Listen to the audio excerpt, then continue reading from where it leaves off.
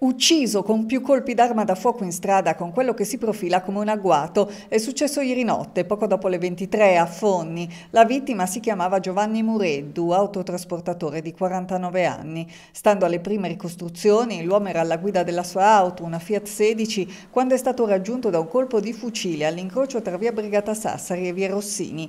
Ferito, Mureddu è uscito dalla vettura e ha tentato la via della fuga verso uno stabile di sua disponibilità, ma che parebbe non essere stata la sua abitazione, ma è stato inutile. Dopo aver percorso pochi metri è stato raggiunto e freddato da numerosi colpi di pistola, uno dei quali alla testa. Una vera e propria esecuzione per la quale sono intervenuti sul posto gli uomini della questura di Nuoro. Il corpo della vittima si trova ora all'ospedale San Francesco di Nuoro, dove nei prossimi giorni sarà eseguita l'autopsia dal medico legale Salvatore De Montis.